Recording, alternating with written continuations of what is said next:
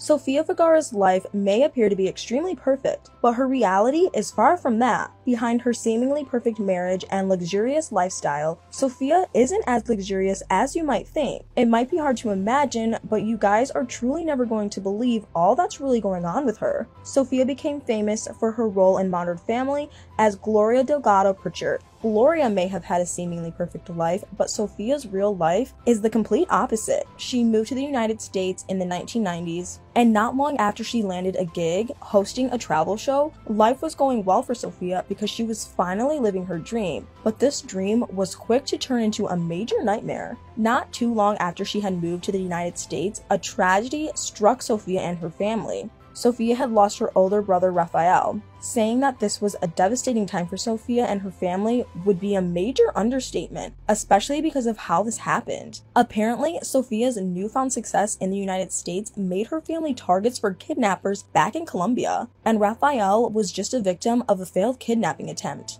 For years after this had happened, Sofia had blamed herself for what happened to Rafael, and she couldn't live with having the rest of her family in Colombia. So, to avoid this horrific situation from repeating itself, Sofia decided to relocate the rest of her family over to the United States. But even their move to the United States couldn't take away the gap that Rafael's loss had caused. Still, with them being together, they were able to start recovering from their loss. Sadly, the darkness didn't lurk too far away, and this wouldn't be the last time Sofia would deal with a life changing situation. In 2000, while attending an appointment for her son Manolo, Sofia's doctor convinced her to get a body check, and it was during this check that Sofia's doctor found out something horrific. Sofia was diagnosed with thyroid cancer at just 28 years old, and even though she was able to have surgery to remove her thyroid, her health struggles didn't stop there. Not long after her surgery, she developed hyperthyroidism. For Sofia, it was like moving from one bad thing to another, and I don't think anyone can blame her for thinking this way. But Sofia, being the fighter that she is, was able to overcome this, and she ended up becoming the spokesperson for campaigns to educate people about hyperthyroidism. Even though Sofia is stuck with taking medication for the rest of her life,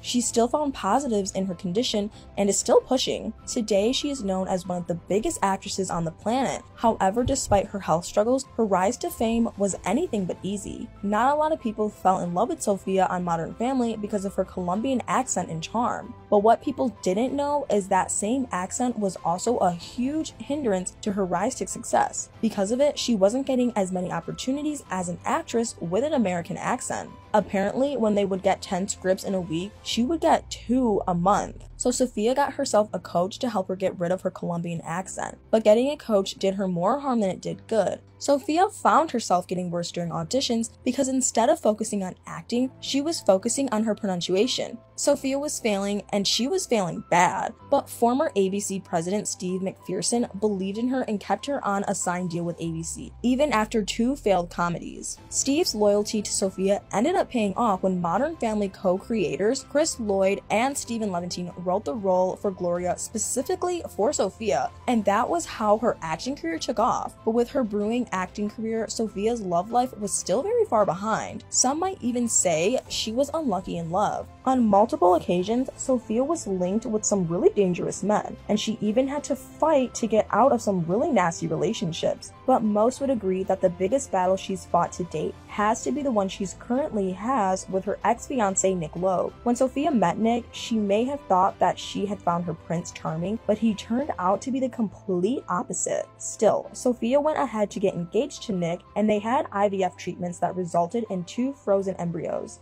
Obviously, you wouldn't do something like this if you weren't planning on spending the rest of your life with someone. This is what Sofia and Nick thought would happen to them. Sadly, a year after they had gotten these treatments, they ended their relationship, and that was when their problems began. At the start of the IVF process, Sofia and Nick both signed a form. Now, this form included an agreement with different options of what would happen to the embryos if not implanted. According to the form that they both signed, if either of them died, the embryos would be destroyed. The only condition for the embryos to be implanted implanted is if they both agree to it. If not, the embryos are supposed to remain frozen indefinitely. For whatever crazy reason, Nick decided that he'd unfreeze the embryos after their split, and Sofia obviously wasn't in support of this. This led to the nasty court case that they are currently in. According to Sofia, she doesn't think it would be necessary to bring a child into the world when both parents hate each other. Although she claims that she doesn't actually hate Nick, it's pretty obvious that she doesn't like him either. Nick, on the other hand, claims that he's pro life and he's fighting for the embryo's right to live. But many people wondered if he was just trying to get child support from Sofia. Nick and Sofia's court case has currently been going on for the past seven years, and frankly,